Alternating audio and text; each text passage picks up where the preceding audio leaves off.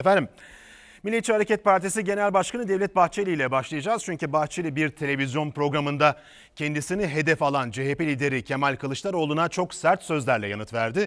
Bahçeli CHP liderine hem HDP ile olan ilişkisi nedeniyle hem de İzmir adayı Tunç Soyer üzerinden sert ifadelerle yüklendi. Bahçeli bize milliyetçilik hatırlatması yapması zeka özrü değil, zilletin zehir tesiridir dedi.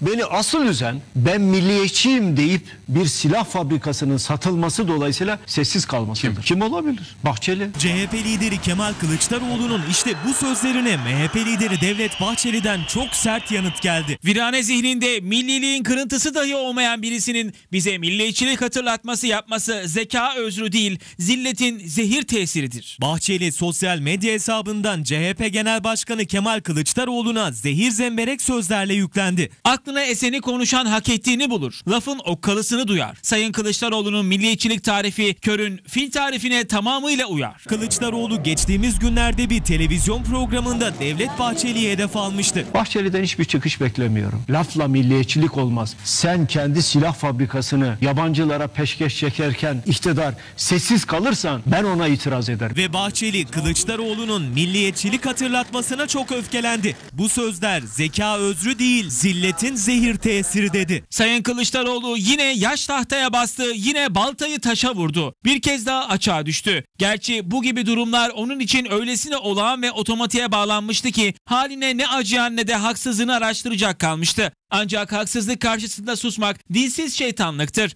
Virane zihninde milliliğin kırıntısı dahi olmayan birisinin bize milliyetçilik hatırlatması yapması zeka özrü değil zilletin zehir tesiridir. Bahçeli Kılıçdaroğlu'nun onun için üzülüyorum sözlerine de sert yanıt verdi. Benim için üzülüyormuş dert etmesin bu da geçer. Bak Sayın Kılıçdaroğlu kalbin çürük olsa da kulağını bana ver. Milliyetçilik lafla olmaz doğru. Senden zaten milliyetçi olmaz. Vatana, bayrağı, orduya kastedenlerle ittifak kurmuş birisinin ağzına alacağı ne millet ne de milliyetçiliktir. Sadece zillet ve rezalettir. Bahçeli CHP'nin HDP ile dirsek temasına değindi. CHP'nin İzmir adayı Tunç Soyer'den üstü kapalı ifadelerle bahsetti. Sakarya ve çevresinin savunma sanayi merkezlerinden biri olmasından ürkmesi boşunadır. Korkuyor çünkü HDP'ye karşı yüzü kara çıkacak. PKK'ya verdiği sözün altında ezilecek. Sayın Kılıçdaroğlu onu bunu bırak. Nereye hizmet ettiğinden bahset. Zillet ittifakıyla PKK'ya nasıl boyun eğdiğini açıkla. Kandil ittifakınızdan umutlandı. Emperyalizm ittifakınızda kanlandı. Türk ve Türkiye düşmanları ittifakınızda canlandı.